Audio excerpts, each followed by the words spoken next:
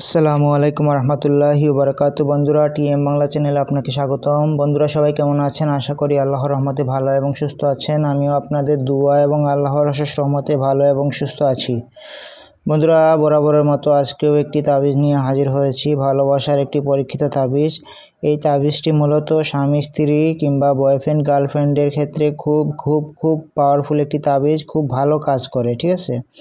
এবং হচ্ছে গিয়ে এটির রেজাল্ট আপনি সাথে সাথে দেখতে পাবেন, সাথে সাথে দেখতে পাবেন ইনশাআল্লাহ। এটি আমার মুখের কথা নয়, এটি আমি কিতাব থেকে দিয়েছি এবং এটি পরীক্ষিত একটি তাবিজ।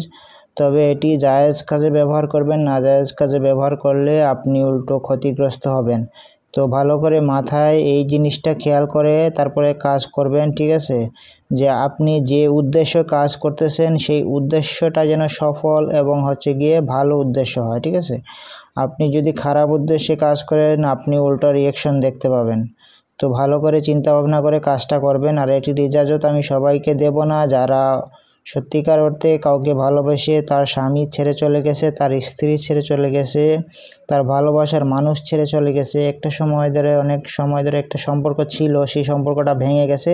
শুধু তারাই এই কাজটি করবেন, ঠিক আছে? কিন্তু অন্য কেউ এই কাজটি করবেন না। অযথা কাউকে পেরেশানি করার জন্য করবেন না, তাহলে আপনি নিজেই পেরেশানিতে পড়ে যাবেন। তো চলুন বন্ধুরা, কথা না বাড়িয়ে এই কাজটি কীভাবে করবেন আপনাদেরকে শিখিয়ে দেই। আর এটি করার আগে কিছু কথা বলে নিই, যারা এখনও আমার চ্যানেলটি সাবস্ক্রাইব করেননি, সাবস্ক্রাইব করে দিবেন এবং হচ্ছে গিয়ে এই ভিডিওতে একটি লাইক দিয়ে এই ভিডিওটি শেয়ার করে দিবেন অন্যান্য বন্ধুদের কাছে। তো তাহলেই আমার ইজাজত হবে, তাছাড়া আমি ইজাজত দিব না। আর এটি ইজাজত পেতে হলে অবশ্যই ভালো কাজে ব্যবহার করতে হবে এবং আমার চ্যানেলটি সাবস্ক্রাইব করা থাকতে হবে। ভিডিওটি শেয়ার করে দিবেন এবং হচ্ছে গিয়ে ভিডিওতে একটি লাইক দিয়ে দিবেন। তো কথা না বাড়িয়ে চলুন কাজে চলে যাই। কীভাবে আপনি এই তাবিজ দিয়ে আপনার ভালোবাসার মানুষকে বশ করবেন? আপনি যাকে পছন্দ করেন তাকে কীভাবে আপনার প্রেমে পাগল করবেন? যে আপনাকে ছেড়ে চলে গেছে তাকে কীভাবে আপনি আবারও ফিরিয়ে আনবেন? এই তাবিজটি যে কোনো দিন আপনি নিশিরাতে লিখবেন। নিশিরাত বলতে রাত বারোটার পর লিখবেন, ঠিক আছে? এই তাবিজটি লিখার নিয়ম হচ্ছে গিয়ে রাত বারোটার পর। যে কোনো দিন আপনি লিখবেন নকশাটি লিখার আগে পাক পবিত্র হয়ে নেবেন এবং হচ্ছে গিয়ে সুগন্ধি মেখে নেবেন। তিনবার অথবা সাতবার অথবা এগারোবার আপনি দুরুদ্দে ইব্রাহিম অথবা যে কোনো দুরুশরীফ পাঠ করে নেবেন। তো নকশা লেখার ক্ষেত্রে অবশ্যই পশ্চিম দিকে মুখ করে বসে লিখবেন। যেদিকে আমরা নামাজ পড়ি সেই দিকে তো নকশা লেখার সময় আপনি যে কোনো কালারের কলম ব্যবহার করতে পারেন, লাল কলম ব্যবহার করতে পারেন অথবা কালো কলমের কালি ব্যবহার করতে পারেন। ঠিক ঠিক যেভাবে আছে, ঠিক সেভাবে নকশাটি লিখবেন। নকশাটি ভালো করে দেখে নিন। নকশা লেখার পর আপনি যাকে আপনার প্রেমে পাগল করতে চান, তার নাম এখানে বসবে। ঠিক আছে? তার নাম এখানে বসবে। বিনতে তার মায়ের নাম এখানে বসবে। যদি মহিলা হয় আর আপনি যদি পুরুষ হন, আপনার নাম এখানে বসবে। বিন, আপনার বাবা অথবা মায়ের নাম এখানে বসবে। আর এই আল্লাহুব যেভাবে আছে, ঠিক সেভাবে থাকবে। আর কোনো মেয়ে যদি তার স্বামীর জন্য এই তাবিজটি লেখে, তাহলে প্রথমে মেন ও স্বামীর নাম এখানে বসবে।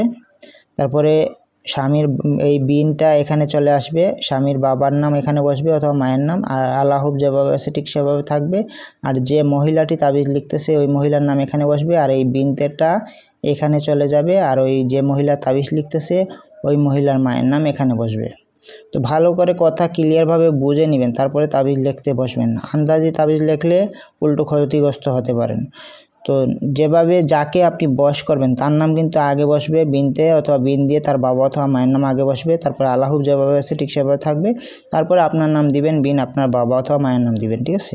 তো নকশা শেষ হয়ে গেলে, লেখা শেষ হয়ে গেলে আপনি এরকম একটি কবজের মধ্যে, এই তাবিজটা এই কবজের মধ্যে ঢুকিয়ে দিবেন। ঢুকিয়ে দিয়ে ঠিক আছে, আপনি কি করবেন, এটাতে মম দিয়ে আটকে দিবেন। মম দিয়ে আটকে দিয়ে আপনি চুলার নিচে এটি গরম করতে থাকবেন, ঠিক আছে? চুলার নিচে রেখে দিবেন। যদি মাটির চুলা হয়, তাহলে মাটির চুলার নিচে গেড়ে দিবেন। যারা শহরে বাস করে, তাদের চুলা তো গ্যাসের চুলা থাকে। তো গ্যাসের চুলার নিচে এটি রেখে দিবেন, যাতে কেউ না দেখে।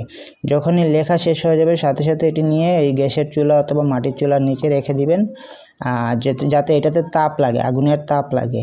এটা যাতে জলে না যায়, সেদিকে খেয়াল করবেন। যতক্ষণ আপনার এটাতে আগুনের তাপ লাগবে ততক্ষণে দেখবেন যার জন্য করেছেন তার শরীরে আগুন লেগে যাবে কিংবা তার শরীরে আপনার হচ্ছে গিয়ে অস্থিরতা শুরু করবে, আপনার জন্য পাগল হবে।